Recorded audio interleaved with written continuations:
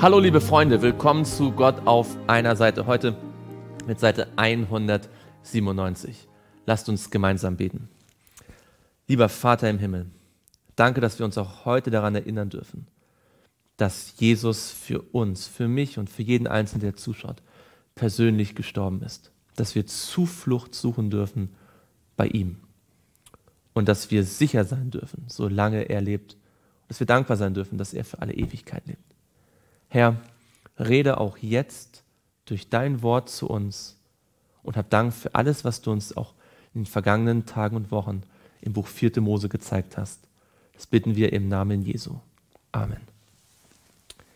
Wir sind in 4. Mose 36. Es geht um die Erbtöchter. Und wir lesen in Vers 10. So wie der Herr es Mose geboten hatte, so handelten die Töchter Zelophrats und Machla Tirza, Hogla, Milka und Noah, die Töchter Zillophrats, verheirateten sich mit ihren Vettern, damit das Erbe ihres Vaters nicht verloren gehen würde. Sie verheirateten sich unter, sie verheirateten sich unter den Geschlechtern der Kinder Manasses, des Sohnes Josefs, und ihr Erbteil blieb bei dem Stamm des Geschlechts ihres Vaters. Wenn du noch nicht verheiratet bist und dich mit dem Gedanken trägst, bald zu heiraten, und stell dir die Frage, was ist das geistliche Erbe, das Gott mir geschenkt hat? Und wen kann ich heiraten, sodass ich sicherstellen kann, dass dieses geistliche Erbe nicht verloren geht, sondern bei mir bleibt? Das sind die Gebote und Rechtsbestimmungen, die der Herr durch Mose den Kindern Israels geboten hat in den Ebenen Moabs am Jordan gegenüber von Jericho. Sie waren jetzt wieder an der Grenze zum gelobten Land. Sie standen mit Sichtweite auf Jericho direkt davor. Und damit ist das Buch 4. Mose in gewisser Weise auch ein ganz besonderes Buch für uns, die wir kurz vor der Wiederkunft Jesu stehen. Wir glauben, dass die Wanderung der Kinder Israel durch die Wüste ein Typus ist für die Wanderung des Adventvolkes. Und das Buch 4. Mose beschreibt wie kein anderes das Auf und Ab dieser Wanderung. Es beginnt am Berg Sinai mit den letzten Anweisungen, mit dem begeisterten Aufmarsch und dem Aufbruch hin zum Land Kanaan. Und dann gibt es Geschichten voller Abfall und, und, und Klagen und Murren, Unglaube. Die tragische Geschichte von Kadesh Barnea, die dramatische Rebellion von Korah. Und was so interessant ist, ist, dass Gott trotzdem, trotz all dieser Probleme sein Volk führt. Ja, auch als es sich so weit aus dem Fenster lehnt, dass es wieder zurück nach Ägypten möchte und Gott sie nicht mehr nach Kanaan hineinlassen kann, jedenfalls die erste Generation, führt er sie dennoch Jahr für Jahr, Jahrzehnt für Jahrzehnt durch die Wüste, um eine neue Generation heranzubilden, die dann das Land Kanaan erobern kann. Gott ist langmütig und geduldig. Er führt uns trotz vieler Sünden und Probleme.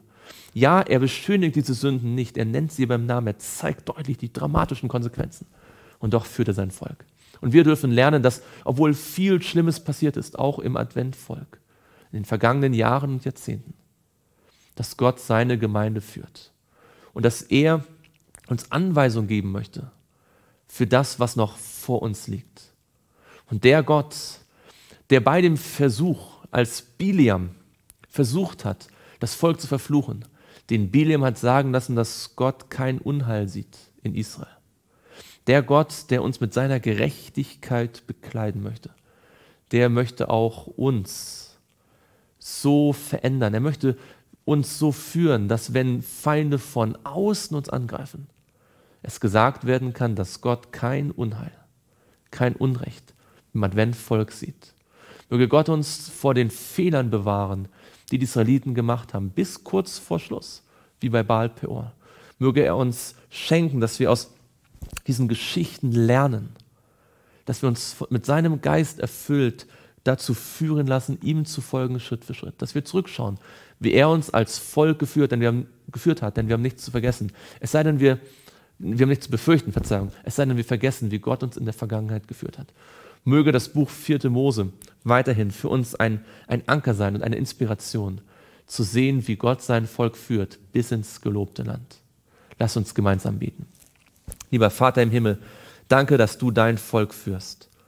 Und danke, dass du, wenn eine Generation versagt hat, du nicht dein Volk aufgibst, sondern eine nächste Generation heranführst und sie ausbildest und sie im Glauben wachsen lässt, sodass sie schlussendlich das Ziel erreichen kann. Herr, wir wünschen uns so sehr, dass wir diese Generation sein können. Bitte lass uns aus den Lektionen deines Wortes lernen. Das bitten wir im Namen Jesu. Amen.